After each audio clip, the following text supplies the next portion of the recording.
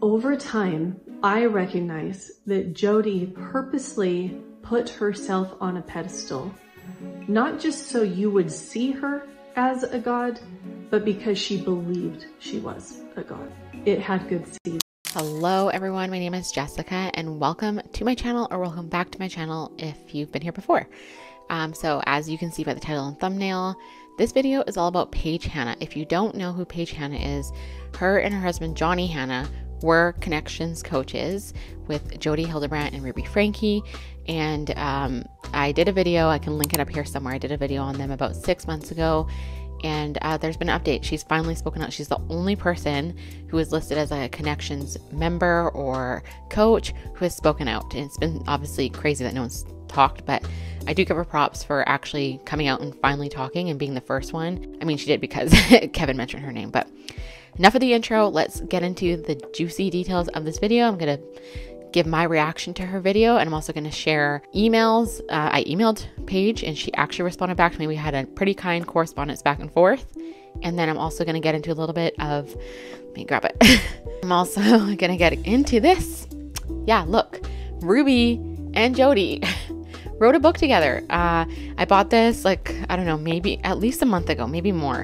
Um, and it's just like, honestly, you know, like people say word salad. this is this book is word salad, but because of the things that Paige mentions, I wanted to read a couple of things from here. So this is like really meaty type of uh, video today. So if that's what you like, stick around.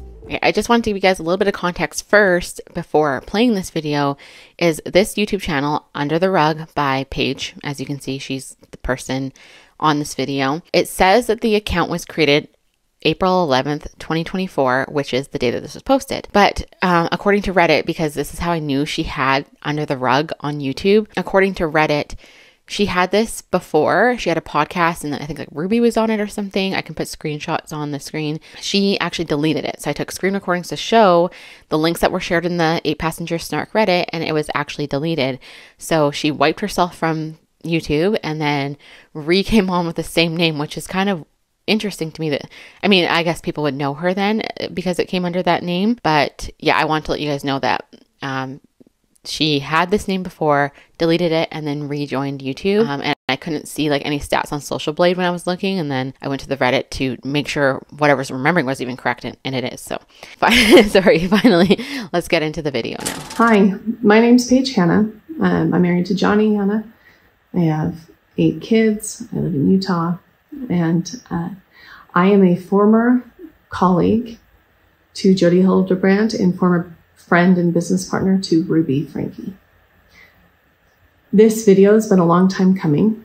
Um, for years, I've wanted to share my experience with Connexions and have not known how or when.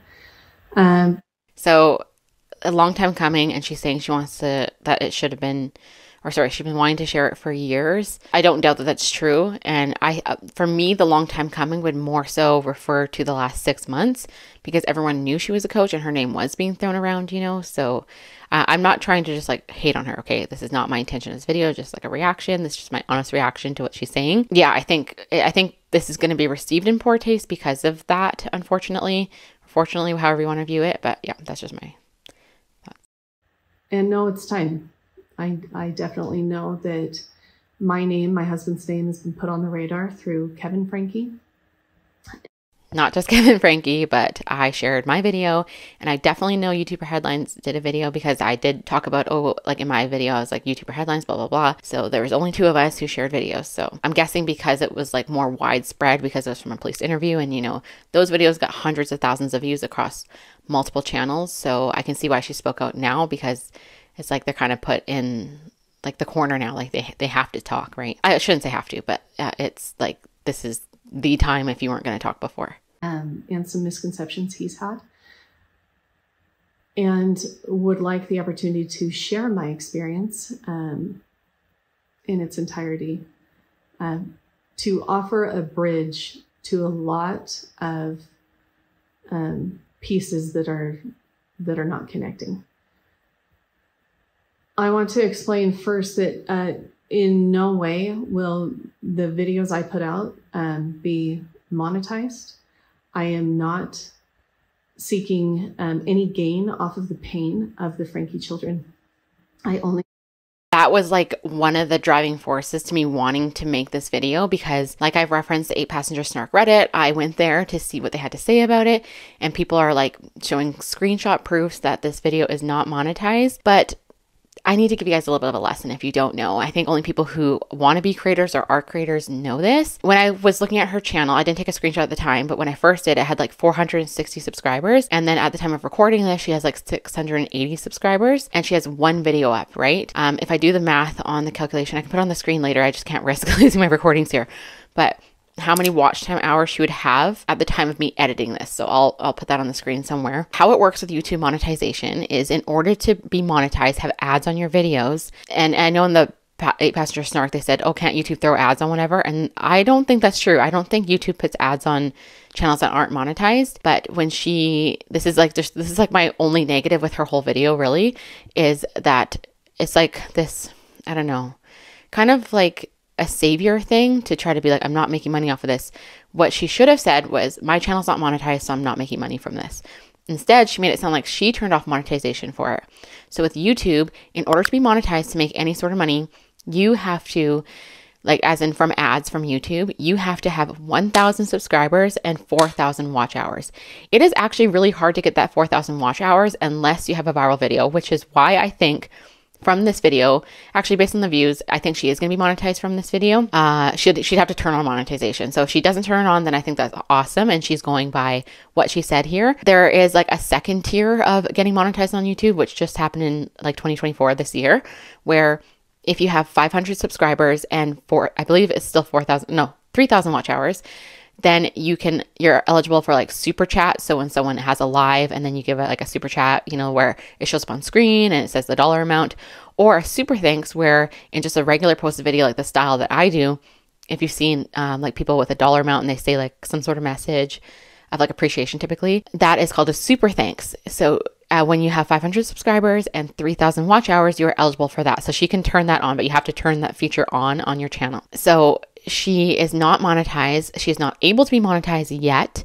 Um, she maybe have got, maybe by now she would have received an email that she can apply for that like lower tier of monetization, but until she reaches a thousand subscribers, which she probably will with this video, honestly, because her video is just climbing in views, obviously, she will be able to be eligible for monetization. But this is like, this is a pretty big deal to me. She's not eligible for monetization. So don't be fooled. She can't monetize this video, okay? Seek to provide some understanding that hopefully in the future um,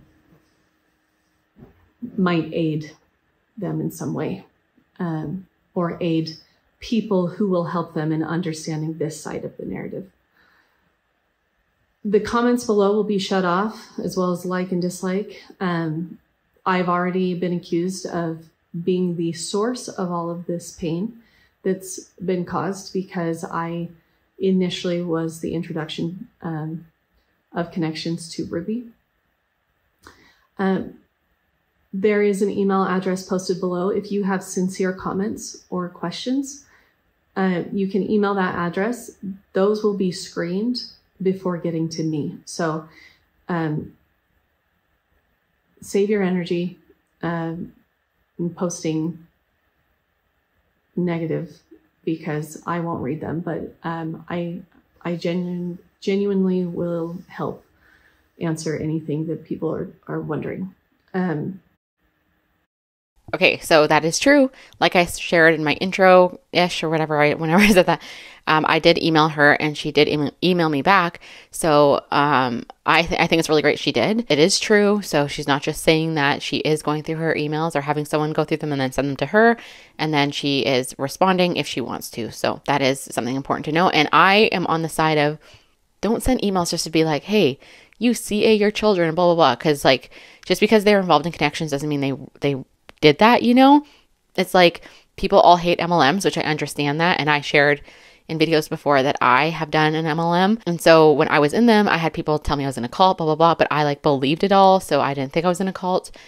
But there are good people within these things, you know. It's not everyone is corrupt, so I think that's really important to know about Paige is that I'm not saying that they don't. I'm just saying like there's no proof of that. So everyone has to stop like lumping them together, especially because she wasn't part of those like seances that Pam, Ruby, and Jodi did. You know what I mean? So I wouldn't I wouldn't put them in the same category. Um, but that's just my opinion. You're entitled to think what you believe. Obviously, I'm not trying to sway you to think any sort of way, but that's just what I think. Oh, this isn't going to be easy.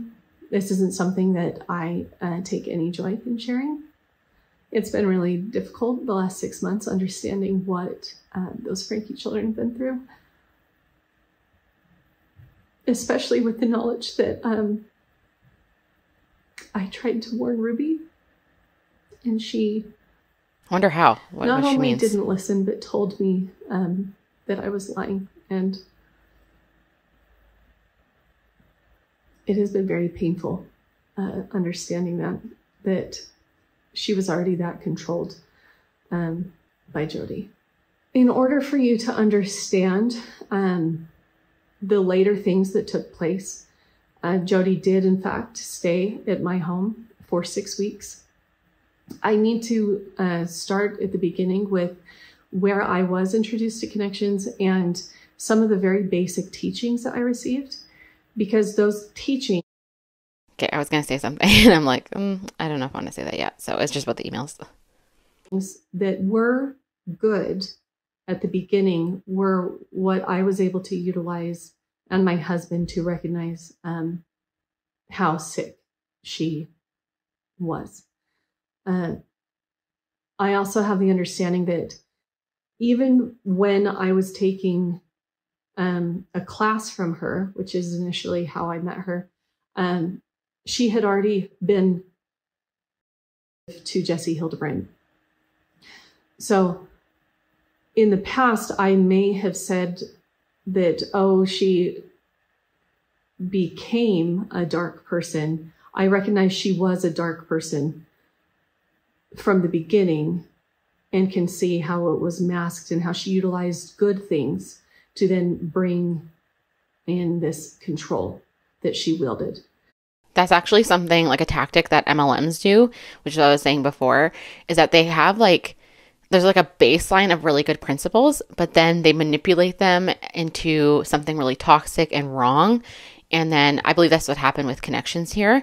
I do think there's probably other people in Connexions that aren't great, you know, but there's no, I don't know. I feel like there's no proof to know how far it's gone with other people. We, we won't know. I don't think we'll ever know. But I, I do think it's more of like that MLM culture, you know, the baseline is good, but then um, like the leaders themselves are like some of them can go really far, you know, into into twisting it. Uh, in in 2017, I had um, I had just given birth to my sixth child, who was a girl. I had had five boys previously, and this girl. Um, while I was so excited to have this girl, I was terrified um, of being a mother to a daughter. And the, the thing that she says there, I really empathize with because I did get a like a few hate comments on this video, but I did a video about that I didn't want to have a daughter because um, I, for me, have had a really tumultuous and bad relationship with my own mother like my whole entire life you know? Um, and didn't feel that love that you would believe a mother would have for their children you know? So hearing her say this i completely 100% empathize with her. And um yeah i just i know i know why she sought out like help because like for me i went and saw my therapist and i got help.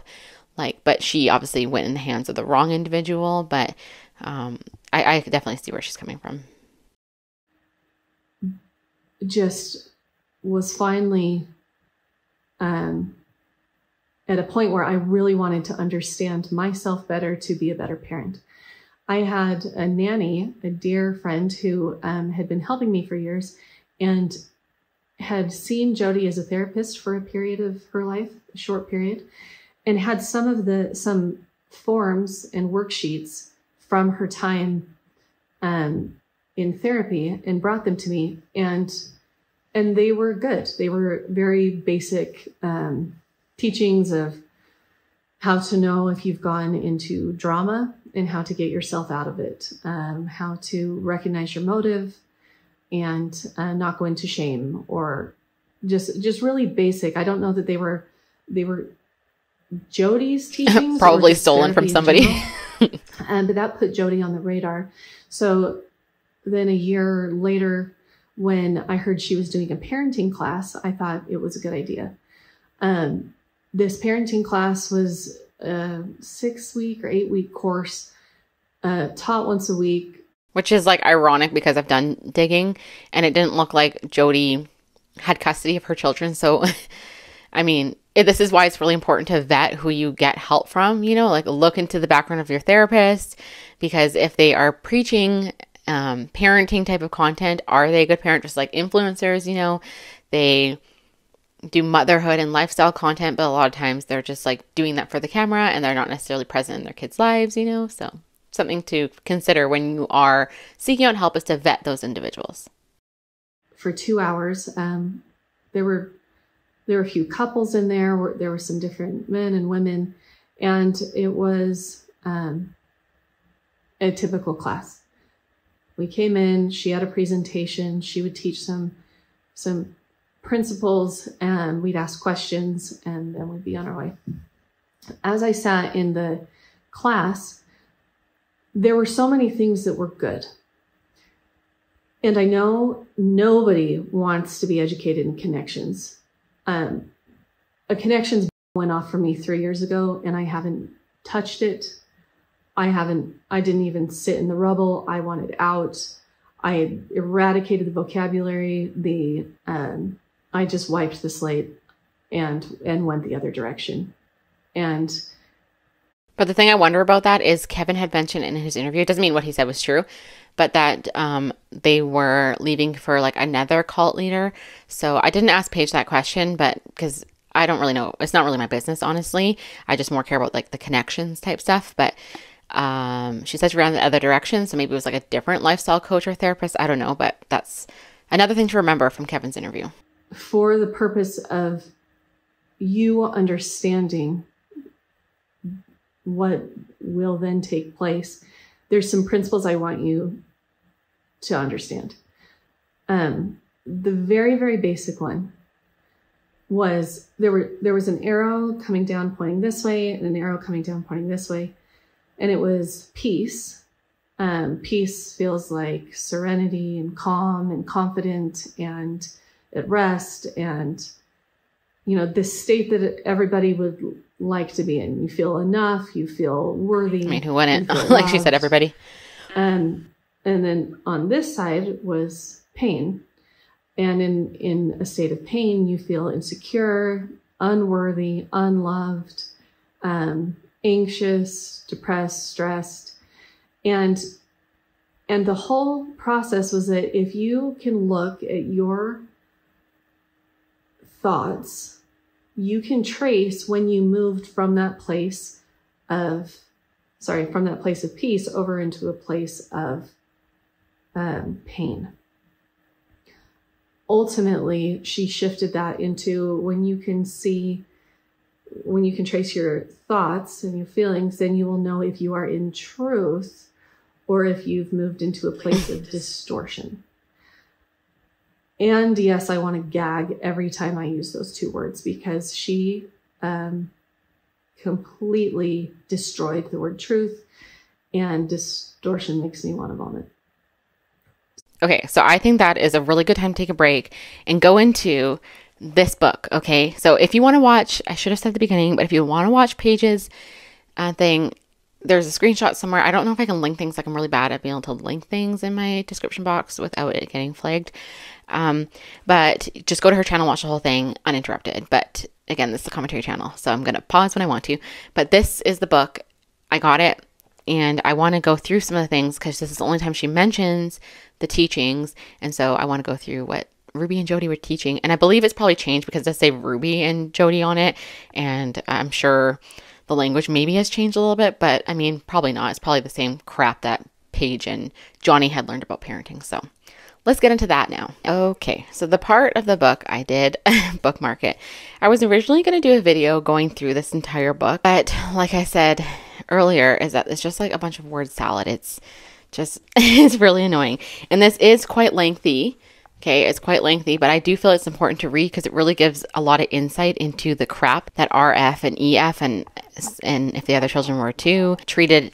I can't use the words, but you know, CA'd by Ruby and Jodi. It really gives the perspective of their like messed up mind. Okay, okay, so this heading of this part says distorted parenting statements and beliefs. I'm going to actually first I'll read the list and then I'm going to read these blurbs. I'm kind of going backwards in how the book was written, but they share they share okay distorted parenting beliefs. It's like I said, it's quite lengthy, but I feel like it's really important to share. So this is a list that Ruby and Jodi made on. It says the following statements are very familiar and have been repeated in nearly every household. You may read these and become reactionary slash defensive.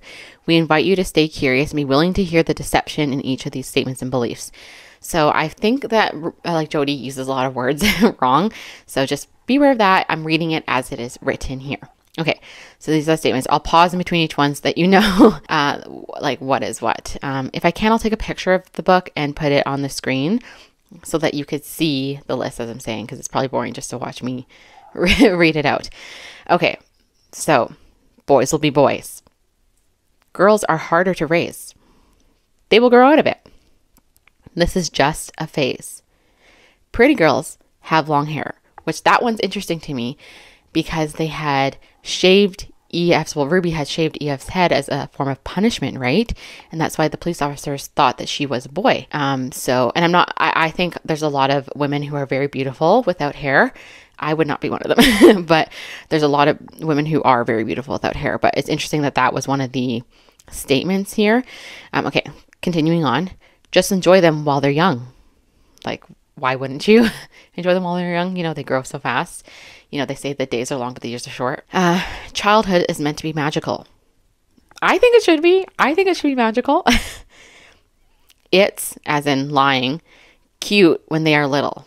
I guess they're referring to like whenever they lie, it's cute when they're little. I don't know. They just like put the word lying in, even though the phrase is it's cute when they're little sometimes. Like, I don't know. Um, what you what you did doesn't matter. Tomorrow is a new day. Don't be so hard on him. He's only dot dot dot. Which I think is true. Don't be like whatever their age is, if they're like at the cognitive understanding. I'm going to get into that too. Some like TikToks I found which help explain better than I could from actual pro- professionals. She doesn't know what she's saying. He can't do dishes. His stomach hurts.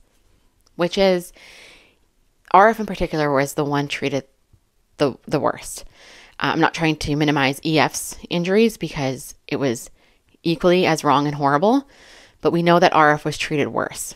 So that statement of, sorry, I can really hear them out of breath right now. This is how I am. I'm, I'm sorry if it's distracting.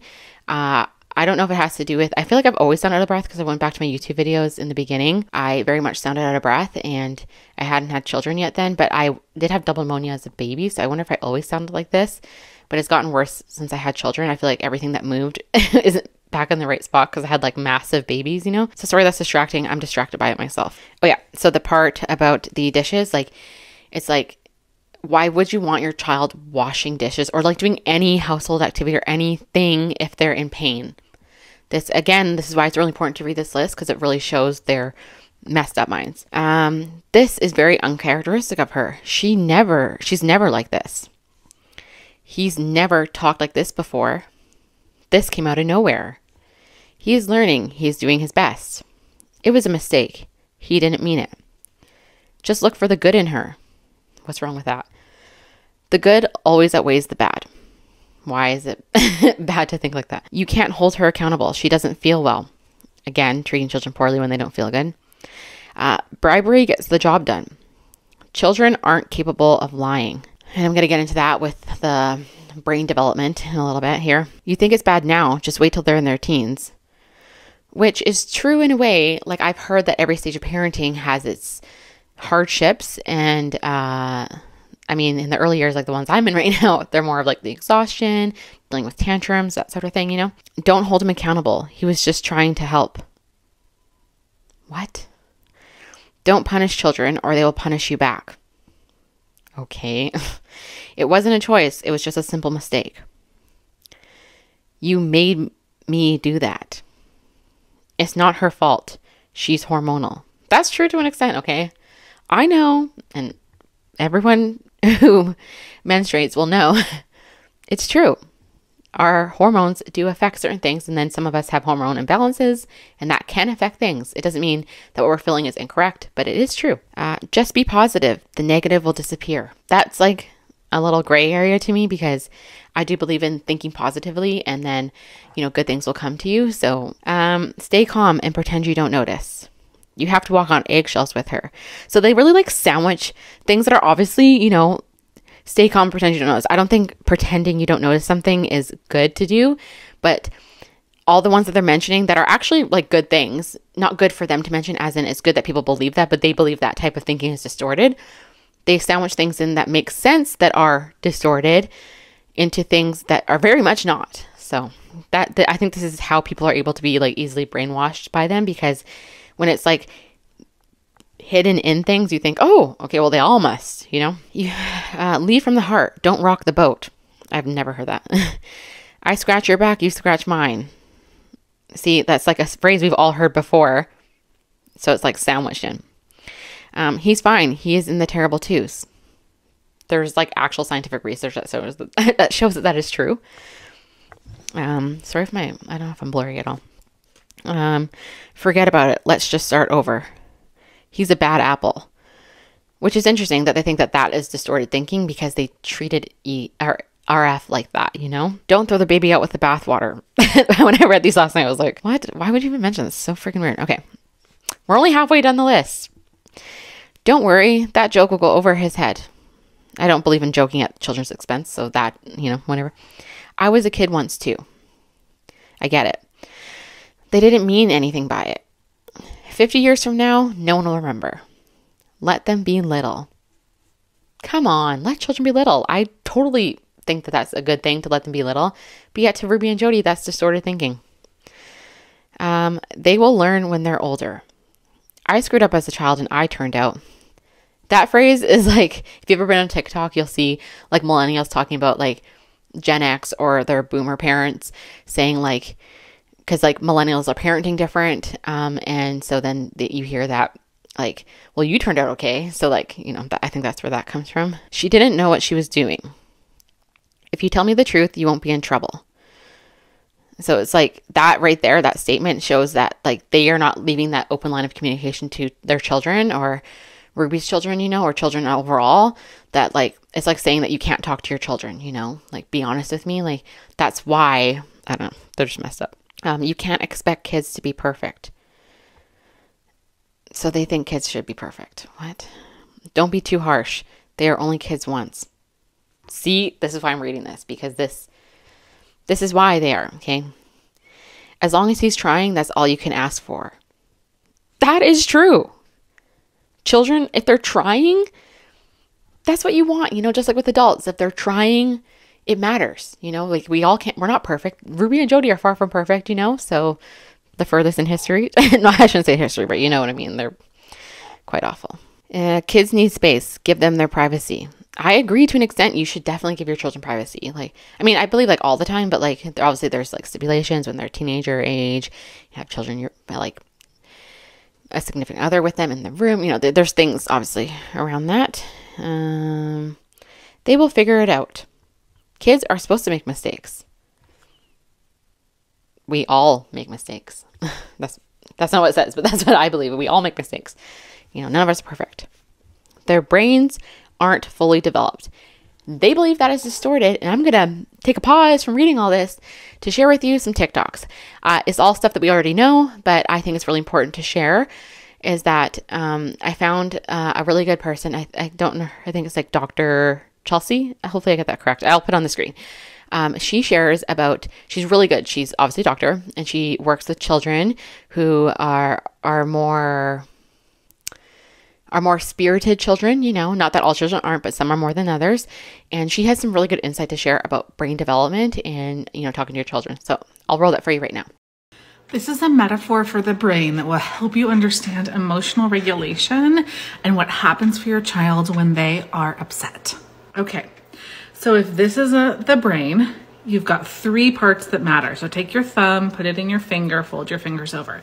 This is the prefrontal cortex. That is the last part of the brain to develop. Brain develops back to front. It is also where language is processed. It is where rational thought lives. It is where children learn. And here's the rub this part of the brain is the first part to kind of go offline when a child becomes dysregulated or frustrated. So when that happens, they do this thing called flipping their lid. So if they flip their lid, right? So now they're not using the part of the brain where rational thought, language, thinking, learning occurs. They flip their lid and then they're operating from this part of their brain. So the thumb is the limbic system. That's kind of like the seat of the emotions. And the your wrist is the base of your brain. And the base of the brain controls automatic functions.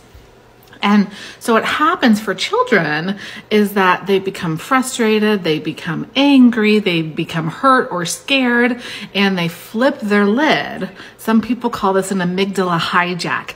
And then you're operating from down here. So when you're operating from the amygdala and the base of the brain, you're likely to have big and explosive emotions parents have the tendency then to talk to kids. Now, what happens is that language, remember, lives up here in the prefrontal cortex. And so when your child has a flipped lid and you talk to them, it's not going to get in there in these moments, I want to go for using my own calm and my presence and my quiet and my touch if my child likes it to help my child get their brain back online.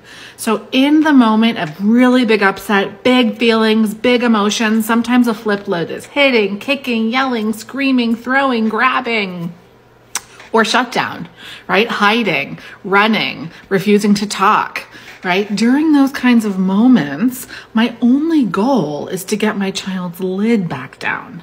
Once the lid is down, then I can move to whatever I wanted them to do, like cleaning up or doing their homework or telling me what happened or whatever it is. But until you get your child's prefrontal cortex back online, they're going to really struggle to process language or to do any of the learning, whether that's like school learning or like learning to keep your hands on your own body or whatever it is you're trying to teach.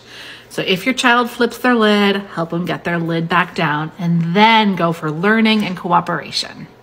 Okay, and then the next thing I wanted to roll because she mentions the prefrontal cortex. And most of us have heard that your prefrontal cortex is not developed, like fully developed until the age of 25. Well, I found a girl who's a neuroscientist, I believe that's what she is, um, on TikTok as well, and she shares some really good details on like how that affects our thinking and not just going to the age of 25, but like the reason why I'm not explaining to you is because again, that's not my area of expertise, and I'll let the professional explain it to you. So I'll roll that now too. Your prefrontal cortex isn't fully developed until your mid 20s, but what does that actually mean? Does it mean bigger, more brain cells? What are we talking about here? You're asking the right girl because I'm Rachel and I am a neuroscientist. The vast majority of brain cells that you'll ever have in your life, you already have when you're born. So it's not that. To understand what it means for the prefrontal cortex to be matured, let's look at brain development a little bit.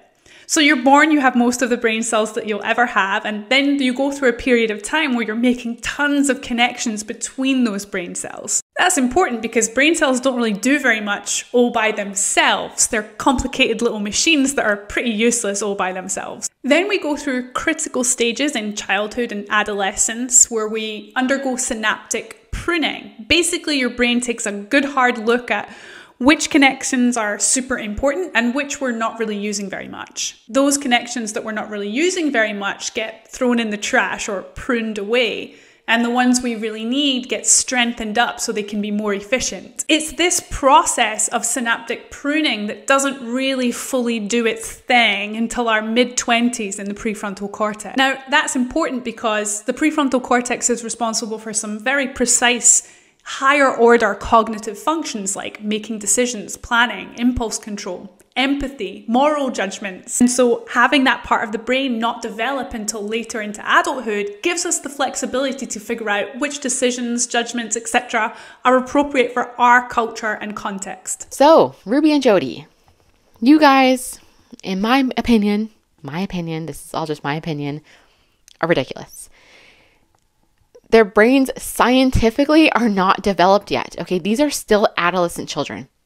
They're like some of them didn't even hit puberty yet, you know? I feel like if this was the stuff in Connexions, when people like Paige and Johnny Hanna were involved, you know, Becky Berry, all these people, that should have been the alarm bells enough if this was the same copy that they had, because this is clearly just a bunch of printout worksheets, you know, then that should have been the thing to get running because scientific proof is that their brains are not developed yet. That would ha- send me running. I'd be like, what? If you think that that's distorted, then who are you? And I would be like, see ya, you know? So, Again, it's important to do a vetting and really look at details. If you've been on my channel for a while, you know I always talk about looking at the details. The details matter. The things that maybe like the mass majority won't notice, the details matter, okay? Okay, let's continue this. Now that we know that the brain is not, if anyone didn't know that, not fully developed, uh, that this is BS. okay, that's his. He doesn't have to share. Now, I've seen a lot of research on TikTok, and TikTok is a great resource. You know, there's actual professionals on there.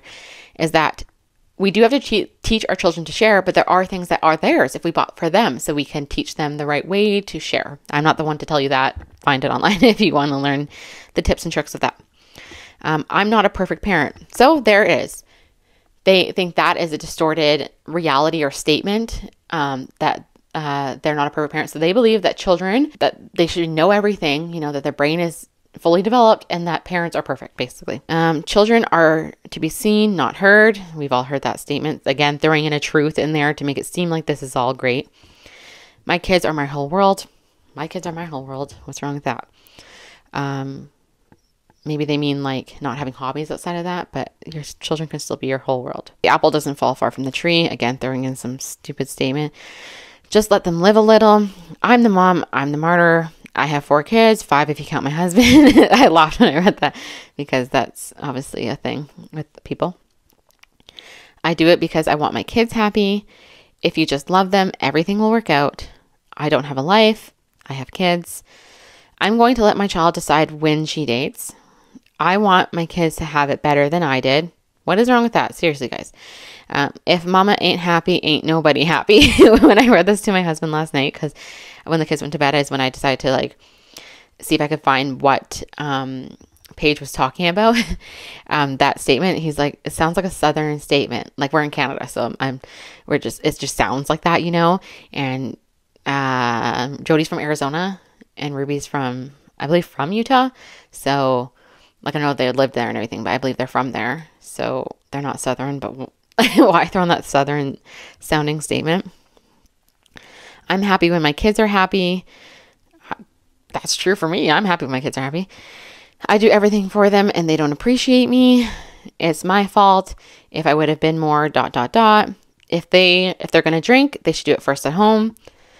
That is something I believe. I don't think underage drinking is appropriate. But I do when my kids, if they want to have that when they're older, adults, you know, in Canada, the drinking age is 18. I want them to experience that at home in a safe environment. What is wrong with that? I mean, I guess because Mormons are they against drinking? I, I believe I would I would assume so. Um, I know Christians are. I was raised Christian. Um, I don't want to impose my beliefs on my child. I'm that way. I was raised Christian. I'm honestly not sure what I believe now, but I would never want to push my beliefs on my children. I want them to you know, learn about everything and decide what they want to believe, you know, as long as it's not like evil, crazy things. um, you made me feel bad. Strict parents make sneaky kids. That's actually true. That's actually true. Strict parents make. How many people have you heard that were like never allowed to do anything and then went crazy once they moved out from home? That is very, very, very true. Okay, so they have all the truthful statements. I'm not going to read the truthful statements because they are seriously absolutely ridiculous. Like, okay, I will read this is this it gives me like Michael Scott The Office type of vibes. It says, um, fasten your seatbelt and hold firm hold firmly to your principles. Neal Neal A. Maxwell. This one. Uh, what's another one? Let's see. Liberty lost. Liberty once lost is lost forever. Like they're just and like John Adams. There's I don't know who that is. Sorry, but they're just like throwing in like buzz random things. You know that's why I it's not worth your time. I know I took up a lot of time reading the distorted ones, but I felt like that was really important to share based on all the evidence that has come out. So I wanted to read. So they have these distorted, they go into ones that they want to highlight in particular from that list of the distorted parenting statements. Okay. So the boys will be boys one they wanted to highlight, and it says this statement suggests aggressive, delinquent, disconnected behavior is inherent in um, sex. I wasn't sure I could say that. The selfish choice is not responsible. This statement is dishonest, as boys are capable of choosing emphatically. This statement lacks humility, as it suggests expecting boys to learn from their behaviors is unreasonable. Obviously, there's some truth to that, but it's still kind of BS. Okay. They will grow out of it. This statement spreads the lie that distorted behaviors change with time and age. The truth is, the pattern for change requires choice. Anytime distorted choices are given time and space, the distorted thoughts and behaviors canker, swell, morph, deepen. Time and space affords the child opportunity to refine his manipulation and hiding. So, remember, they put EF and RF away from the other children. So they believe time and space will give the child opportunity to refine their manipulation because they brainwashed children to believe that they were uh, manipulating. Change requires humility to choose thoughts, behaviors that reflect the truth. For any child to abandon their destructive behaviors, engaging truthful choice is required. Uh, the next one children aren't capable of lying. This statement supports the lie that children do not have choice. Children do choose to lie, and children do choose to be honest. Children are inbred with a consciousness to know the difference between right and wrong. That is not true. Maybe like in a tiny, tiny, tiny little bit, but it's actually learned and taught from your parents, is my understanding. You know, that's my belief. You don't have to believe it, but that's what I believe. Um, children are to be taught to be responsible for their thoughts. Okay, so they say that children should be taught. Uh, so why do they say children are supposed to be taught? Oh, they're taught to be responsible for their thoughts, feelings, words, and actions, which is a little bit of truth, but then they say that they're inbred to know the difference. Okay, last one is strict parents make sneaky parents. This statement supports the lie that parents can control the behaviors of the children. Uh, this distorted statement also supports the lie that high moral expectations of children are the cause of their sneaky, deceptive, rebellious choices. This statement gives children a hiding place for their irresponsible choices and holds the parents hostage to the child's demands. This child this belief is damaging to a child as it sets him or her up to believe that they can get what they want or get what they demand, blame others for their deceptions, become instantly gratified, and never have adverse outcomes. Okay, so that is absolutely insane. Um, like I've already shared, this is written by Ruby and Jodi. Okay, I got it from Amazon. Unfortunately, had to support them with my dollar, but it, I took one for the team. You know, share, share a little bit. This is not just like googling what distorted whatever. This is they're legit teaching principles. So, gain some insight into what all these Connexions coaches were learning. If this was the exact same like copy, you know, that um, the they were using at the same time. I guess I should check when this book was printed. Let's see. I know it was self-published, by the way. Okay, if I can put it on the screen, I'm gonna look on Amazon when this book was published because I actually don't have a publishing date on here. Okay, I'll, I'll, I'll, look and I'll put it up on the screen. But it is the most recent. I've not heard anyone talk about the book that they wrote together. This is obviously just the worksheets from their Connexions uh, classroom, Connexions classroom, you know? Uh, so yeah. Anyone still involved in Connexions, crazy. Leave, leave, leave, leave, leave. Run as far as you can. Okay, so now we're going to get into the rest of Paige's video. So I'm just going to refer to them as pain and peace. But I want you to understand that's where the initial, um, they're in distortion, they're in distortion came from. Because to accuse a child of being in distortion, well, then you should be able to have the compassion and empathy to recognize, well, they're in a state of pain. Exactly. And instead of saying, well, they're not in truth, they're not in truth, then it's, oh, well, they're not in peace. And how can I as a parent, help them to get into a state of peace. Exactly. If I can recognize exactly. yep. so that they're in pain. And so I took to that pain and peace teaching very quickly because I thought, what a gift. What a gift. If I can recognize my child's hurting, then I can see they're in pain and I can help them through, through compassion and, and kindness and charity, help them come over into a place of peace. Um, that's why the parents were there. That, that was the parenting class. Another teaching was, um, adulation, and denigration. A state of feeling better than or a state of feeling less than. And if you are feeling like you're better than other people, then somewhere deep inside you must have fear that you're not enough. And if you feel less so this is true. It is in the book. Not worth it to go through right now. Um, but we all know, if you've been following this uh, case, that Jodi has a book called "I Am Not Not Enough." so this is, and the book is super repetitive. I wouldn't say buy it honestly. I wish there's a way I could just like put it on like a doc or something and share it with you guys, but unfortunately I can't. I believe there's some sort of like law probably around that. So I wonder, like I shared when I was reading Jodi and Ruby's book, how much of the book or the teachings have changed since Paige left. Is it the same stuff? Because through reading that, it's like that should have had alarm bells for someone like Paige, you know, because I shared in previous videos that I believe that they're very smart and not easily pushed around by Jodi, obviously, which is why they were able to leave successfully, you know. Uh, it it slowed down behavior enough so you could recognize the thought before the action, and and that was a that was a good space. It was a good um, thing I needed, you know, as a as a younger mom with six little kids. I my oldest at the time I think was um, eight.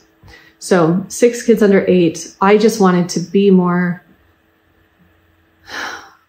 in peace. As we all do. so pain and peace was the gauge. And, and then everything else, all of these principles of truth were these supplements to help you recognize when you've moved Sorry, that was my uh, door. from peace over into pain. Um, oh, I'm trying to remember what. You know, drama was one of them, like I mentioned. Um, Sometimes I like sprint and just, you know, dive right into that that drama pit. But when I'm skirting the edge, I can tell that I, I'm doing a really poor job of holding it. So I need to give myself a boundary. And that is, I bet I can do this for five more minutes and then I got it. And then I'm out. That's and a great visual. When, when you're sitting around the table at Thanksgiving, just picture that hole and see where you are in it.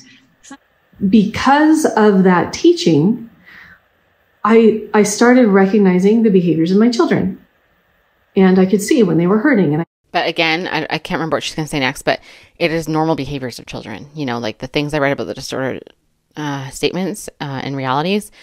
A lot of these things are normal. Yes, sometimes children need therapy and help further, but I think a lot of parents uh, don't know how to self regulate their emotions. I'm not saying Paige is one of them, I'm just saying, like, a blanket statement is a lot of parents don't know how to self regulate themselves. And because of that, they can't deal with their children's emotions. So, like I've learned as a parent, you know, coming from a parent who didn't parent well, is that uh, I need to, like, if I am heightened, I just need to walk away and realize I can't control my child.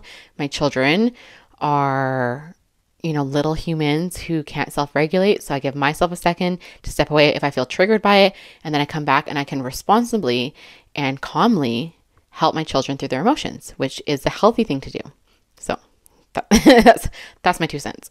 Um, and then how this how this manifested in marriage was, you know, I started recognizing when I was off and Johnny started recognizing when he was off, and then we would communicate and and have these conversations of recognizing, oh, well, it was when I this is what I misunderstood, and when I thought that this is where I went, and then okay, this is what I heard, and this is why I went there, and and so overall, it just increased the ability to communicate within my household and I was grateful for it.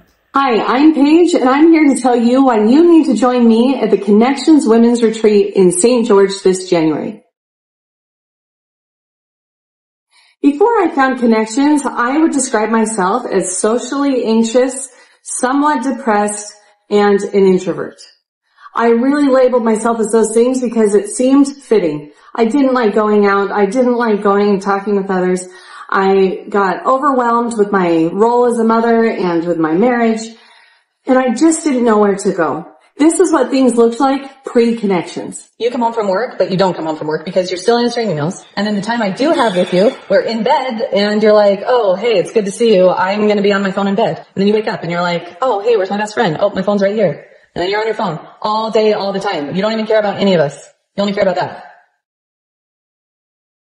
It felt like this state of confusion where I could tell something was off or I could tell I wasn't feeling right and I didn't know where to go with it. This is what it looks like post Connexions. Same circumstance, same place, different vocabulary, different tools, different principles. Hey, I just wanted to let you know that when you're on your phone, it hits my fear that my needs don't matter. And that's why I've been so upset and so aggressive about you being on your phone. And I'm not going to do that anymore. I know that you being on your phone doesn't affect my needs mattering. And I'm just going to let you know if you're on it, I'm going to go make sure that I'm taking care of me and not focusing on you. And you may or may not feel the distance between us, but it is going to be there because you're choosing a connection with your phone over choosing connection with me. Since then, and being a part of the Connexions program, I have picked up tools and principles that have helped me along the way to really gain a sense of self. What I learned is that peace can happen within me. All I needed was the tools to get me going. Everyone needs to start somewhere. Start with me in St. George this January where you can learn the same principle. So that's, that's 2017. That's 2018. Uh, I'm here in 2024 having completely uh, separated myself from any of those teachings, from anything. It doesn't take somebody with a low IQ to be manipulated by, mm, let's just say, a cult leader. It it just takes the desire to become a better person and somebody to kind of manipulate it. So whether you Yes, so this is exactly the exact same thing. I'm keeping the connection to MLMs is that most people who start or join an MLM is because they want to do a business and they like can't go they either don't have the finances to go the traditional route of having a business or they don't even know what kind of business they would even do. So an MLM comes into their life and they're like, "Oh yeah, I'd like to be my own business owner." But you know, if you're an MLM or have experience with that, you know that that's not a business. Okay, that's not a business.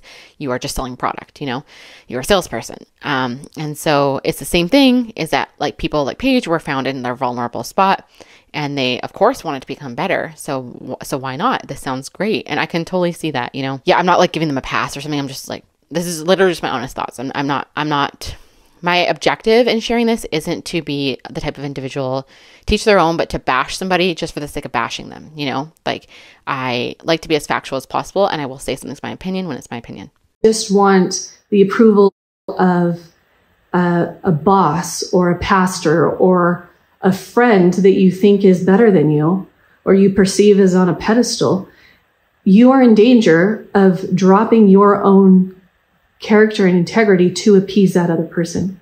I have some tools that will help my family. And oh, look, it is helping my family. So I think it could help your family too.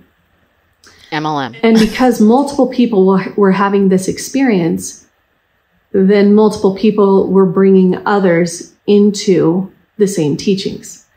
Here is a parenting class. Here is a, uh, I think she called it a 101 class which was just basic therapy principles to help you with whatever you're going through.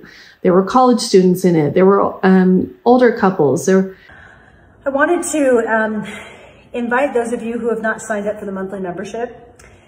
The monthly membership is amazing. It really is. Every Saturday, I get on live with um, uh, you, the students from all over the world, and we talk about a topic. And this coming June, starting next Saturday, which will be in, what, five days, uh, we're going to be talking about um, forgiveness and humility. And so here's all the things you get for $20. Um, you will have live training with me on this unique topic every month. Like I said, or Monday, or excuse me, Saturday, we're to be talking about forgiveness and humility. And then you'll have access to all the digital books. I believe there's about 15 digital workbooks that you'll have access to. Uh, you'll have 30 additional videos of live training events that you can have access to that have been recorded and they're on the site for you to watch. Um, and I talk all about truth and distortion and optional and inevitable pain and drama and vulnerability and validation and on and on and on. There is a community forum to interact with um, on Connexions with trainers and members of, of the class, which is on a GroupMe forum, and so you'll have access to them as well. There's also 18 videos. So in addition to these 30 additional videos, there's 18 inside those 30 that are specifically about the class, like um, information about the class. So information about forgiveness and humility. You had you had an array of people who were just seeking help. Over time, I recognize that Jodi purposely put herself on a pedestal, not just so you would see her as a god, but because she believed she was a god. Um, and she goes by Gilo. Remember in Ruby's journal? That's I believe Gilo is almost like J Lo. You know, like um, having that persona.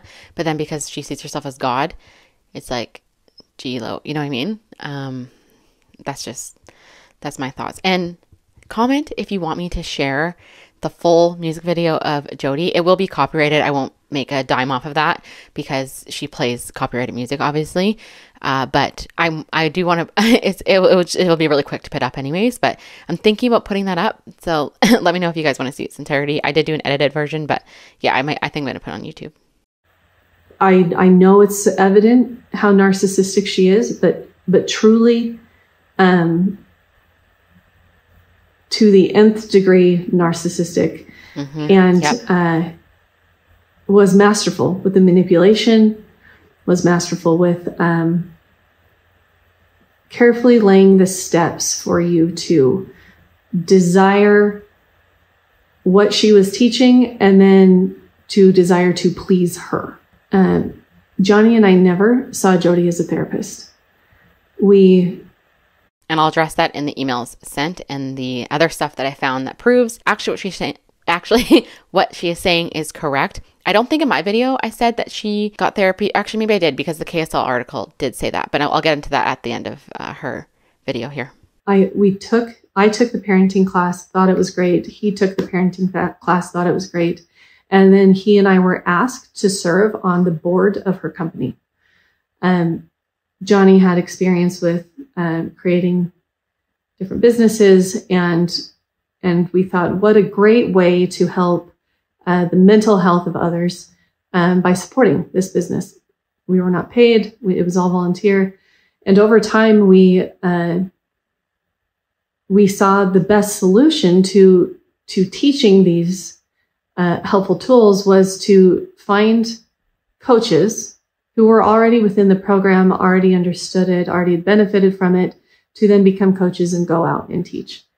Um, the benefit of that was that Jodi through time had started becoming more harsh.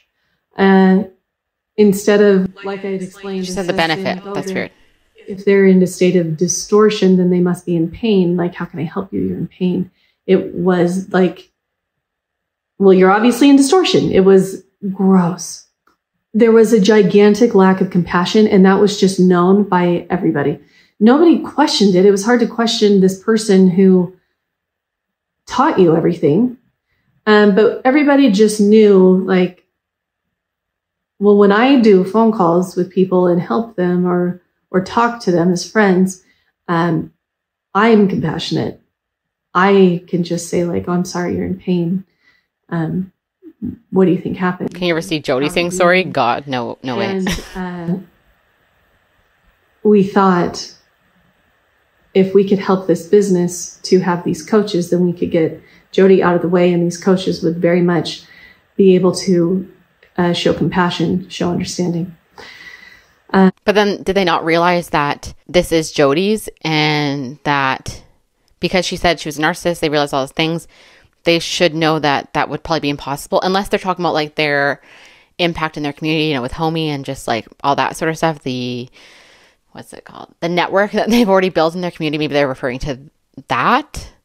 I don't know maybe maybe that's it unfortunately the majority of the people who had worldwide who've had introduction to Connexions had it through ruby and ruby never utilized it the way it was originally learned so you automatically assume that everybody who ever learned it and, and hates their spouse and where there probably are people who and have hated their spouse um, it had good seeds.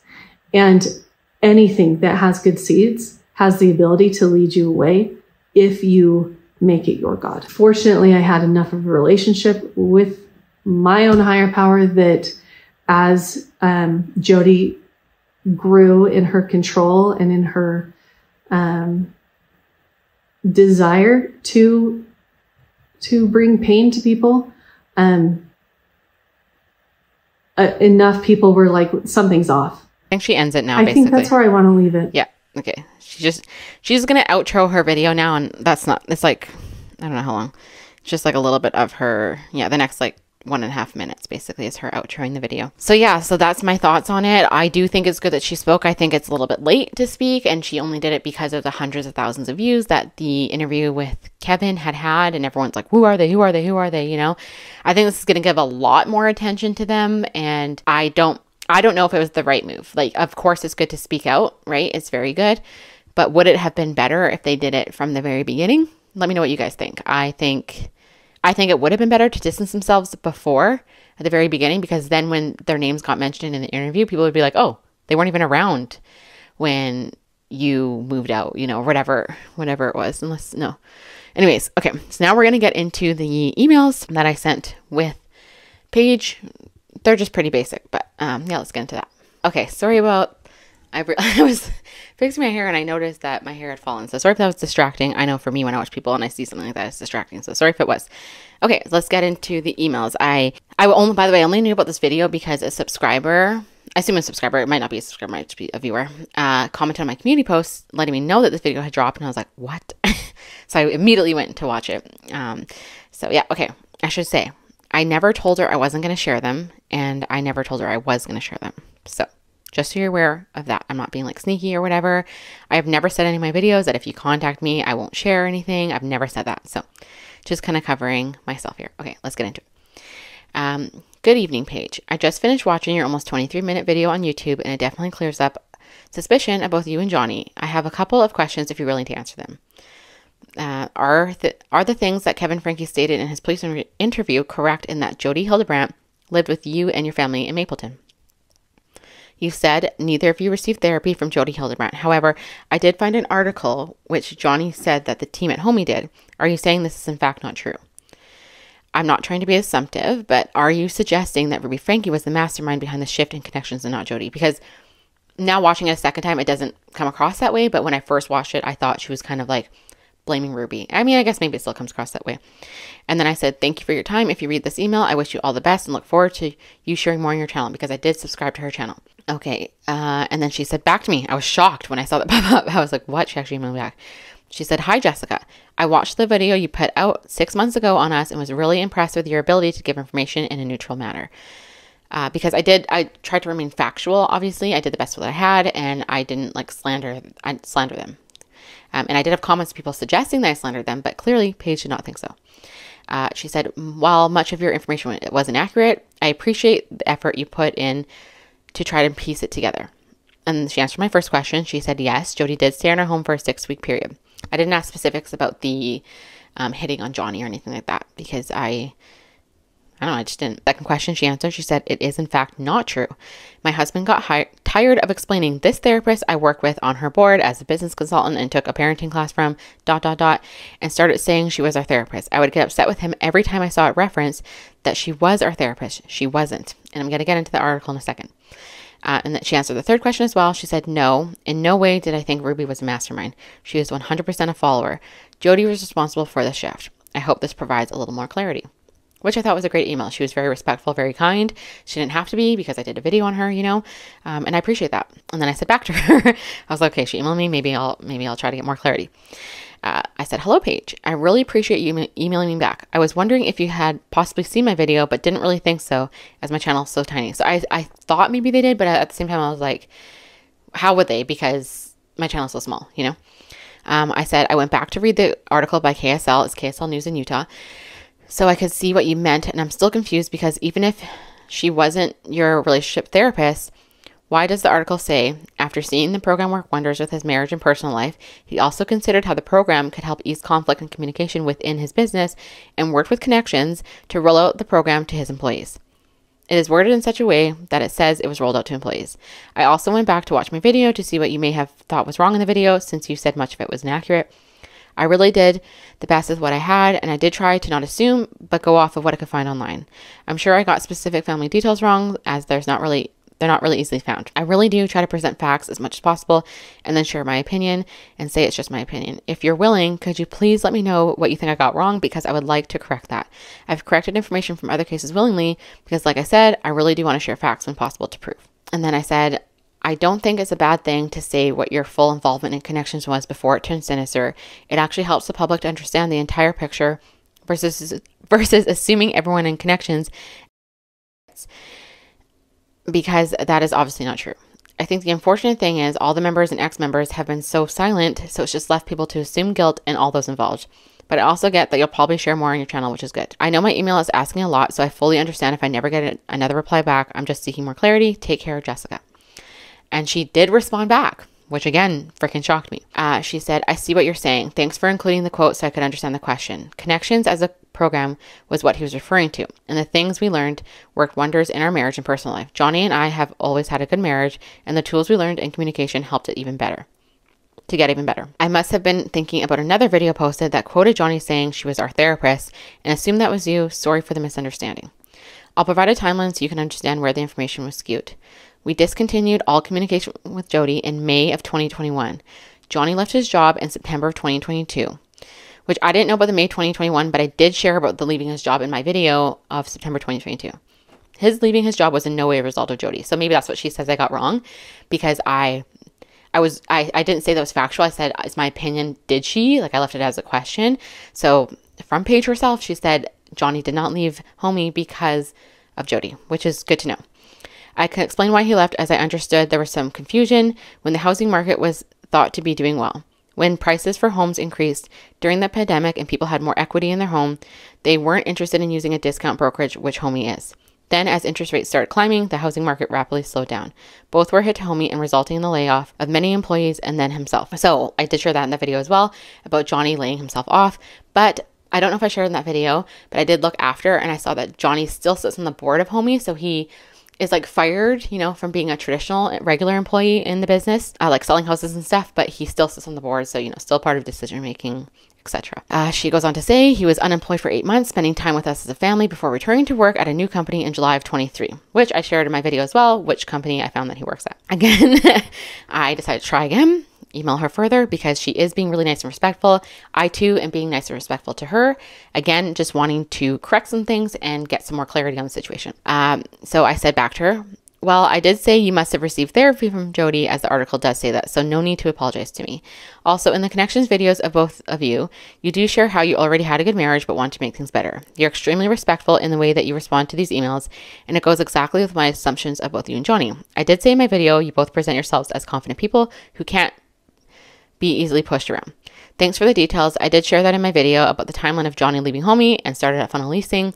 I did see after posting that he, does sit on the board of Homie, which I just shared with you guys. Uh, still just not as a regular employee anymore, but I don't know if that's true today. Again, feel free to not answer any more questions, but do you know how Julie DeRue, Ruby Franke's sister, would have become an affiliate with Homie in July of 2023? Or would Johnny have nothing to do with that?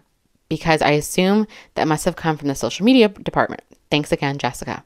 And the final correspondence from Paige, I did not email her back. There was obviously no need to. Uh, she said, I forgot to mention that I don't expect you to correct any details at all. There is no harm in your video, and I was appreciative of the compliment that we appeared confident and not easily pushed around. So, the haters who came for me in that video, it sounds, if she's telling truth, that Paige didn't hate my video. Okay. The Frankes had used Homie as a realtor because of our friendship. They had a good experience and saved a lot of money on realtor commissions. The DeRues wanted the same experience and worked with marketing as affiliates. There we go. We have the answer on how they became affiliates with Homie. They saw Ruby and Kevin save money, so they want to save money as well. So I don't know if they knew. Obviously, they knew about Connexions, but they didn't know, like like how Paige shared, that the severity of Connexions went down just before they left. Um, and then, so then my assumption from that would be that Julie DeRue had no idea about the severity of Connexions either. So I'm not saying you come to your own opinion, okay? This is just my opinion. It's my channel. I'm just sharing my opinion, but that's just what I think based on the people who are involved, like who are, their names are on it, right? So that's it right there. So let's continue on with a little bit more of this video. Okay, sorry if you hear my kids now. My husband took them for a nice long walk and then to get some lunch so that I can film this video. So that is basically all I have for my information about Paige and uh, the book with Ruby and Jodi. Uh, I found out, you know that if you watch my video about Jodi, you know, searching for RF, you know, and I did, I don't, I did share the document in my community post, um, and then I shared the video showing, um, we all saw that on all the channels, but of Jodi talking to a lawyer on the phone. I found that lawyer. I have videos of him. I found it that is going to be my one of my next videos about Jodi um, in the next like week or so. I'm still waiting on the call log information from uh, St. George of any potential phone calls that would have happened at like on on Jodi, like as in people calling on her. I do have two calls that were made from Jodi's house, not like the actual 911 call, but the call log for it. Um, I I I want to request the 911 call for that. Uh, but, and I have the exact time and everything. So I will do that. I have the dispatch for it, but I need to request actual 911 call for it because you have to get the call log first because you can't request a 911 call for something you don't know. So I'm still requesting the 911 call. I'm going to do that. Okay. I'm just in between a lot of records requests right now and it is time consuming. I know some people don't understand how time consuming it is, but it, it actually is a lot of work to get records requests in. Um, and then, I, like I shared already, I was planning on doing the one about the Oklahoma daycare, and I still am. This one just you know, when new new news happens, you uh, for a case you've covered, you really got to jump on it. So let's end this video with a video of, of Jodi. I'm gonna have to like take out the music or whatever. But Jodi, Jodi wanted to clearly be a vlogger. We know that they were going to give their channel eight passengers over to Jodi, and then she clearly wanted to be a vlogger herself. You know, it didn't pan out.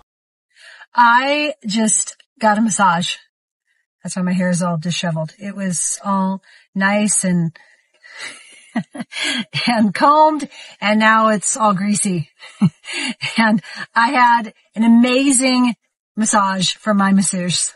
He is so strong and he just gets in there and just works out my muscles and it just feels so horrible. it's painful. But afterwards I feel so much better. so it's probably how you feel when you work with me.